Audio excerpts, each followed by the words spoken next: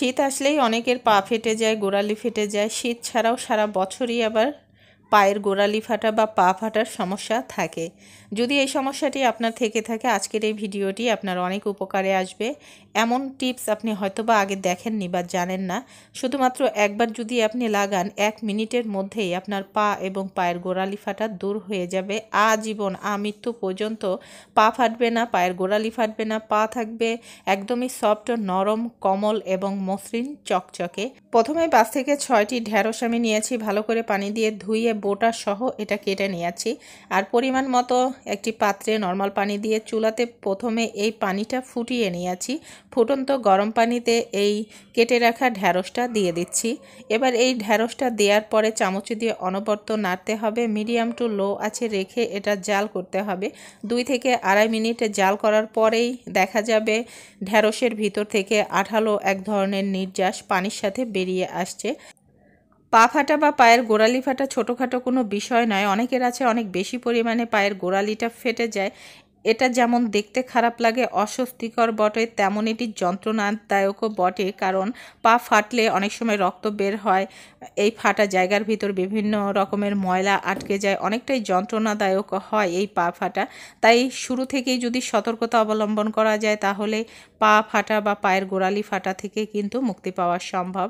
ঢ্যাঁড়সগুলো দুই থেকে আড়াই মিনিটে জাল করার পরে ছাঁকনির সাহায্যে ঢ্যাঁড়সটা আমি উঠিয়ে নিয়েছি এবার এই পানিটা চুলাতেই রয়েছে। এই পর্যায়ে আরও একটি জিনিস প্রয়োজন সেটি হচ্ছে পেঁয়াজ। একটা কাঁচা পেঁয়াজ খোসা ছাড়িয়ে ধুয়ে গ্রেটারের সাহায্যে গ্রেট করে নিচ্ছি। মূলত এখানে পেঁয়াজের রসটা প্রয়োজন। মাঝারি সাইজের একটা পেঁয়াজ হলেই চলবে। এই পেঁয়াজটা গ্রেট করার পরে ছাঁকনির সাহায্যে জাস্ট পেঁয়াজের রসটা বের করে নিতে হবে। আমাদের হাতের কাছেই থাকে এমন কিছু জিনিস দিয়ে, প্রাকৃতিক জিনিসে দিয়ে যদি আমরা সমস্যার সমাধান করতে পারি, তাহলে কিন্তু মন্দ নয়। আর আমাদের অনেকগুলো টাকাও কিন্তু সেভ হবে। এবার এই পানির মধ্যে আমি পেঁয়াজের রসটা দিয়ে দিচ্ছি। পেঁয়াজের রসটা দেওয়ার পরে এটা আরও কিছু সময় জাল করতে হবে। মিনিমাম তিন থেকে চার মিনিট বা দু তিন মিনিট জাল করলেই এটা একদমই কমে আসবে, আরও বেশি ঘন হবে, আঠালো হবে। আর চুলা রাসটা মিডিয়াম টু লো আছে রেখে এটা করা যাবে। আর চামচ দিয়ে অনবর্ত নাড়তে হবে, না হলে সাইডে লেগে যেতে পারে, পুড়ে যেতে পারে, তাই অনবর্ত নাড়তে থাকতে হবে। এটি খুব সুন্দর একটা ক্রিমে পরিণত হবে, চুলা থেকে নামিয়ে নিয়েছি।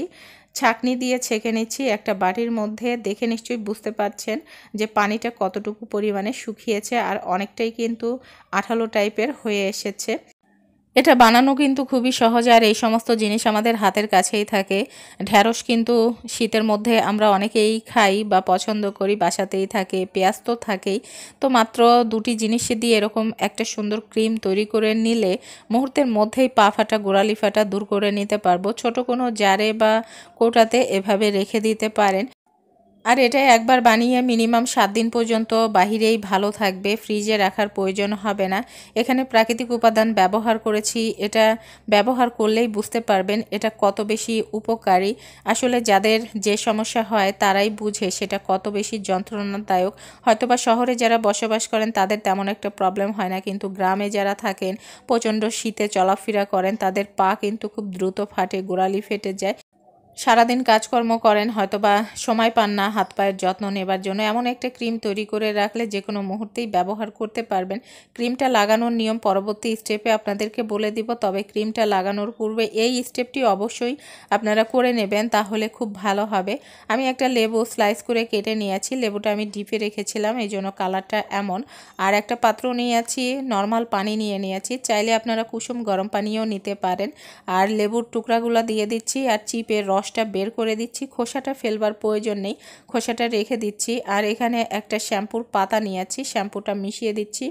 লেবু এবং শ্যাম্পু দিয়ে এই পানিটা প্রস্তুত করে নিতে পারেন নর্মাল পানি দিয়ে অথবা কুসুম গরমও ব্যবহার করতে পারেন। এই পানিটাতে প্রথমে দুই পা ভিজিয়ে রাখতে হবে। আমি স্কিনে আপনাদেরকে এটা করে দেখাচ্ছি।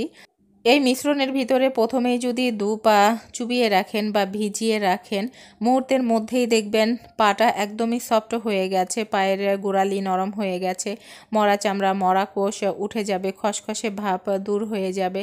আর এই পানিতে পা দিয়ে রাখলে কিন্তু পাটা অনেক বেশি আরাম পাবে মানে ভালো লাগবে আপনার কাছে। আর এরকম একটা ঝামা পাথর নিতে পারেন, এই ঝামা পাথর যে কোনো কসমেটিকের দোকানে কিনতে পাবেন।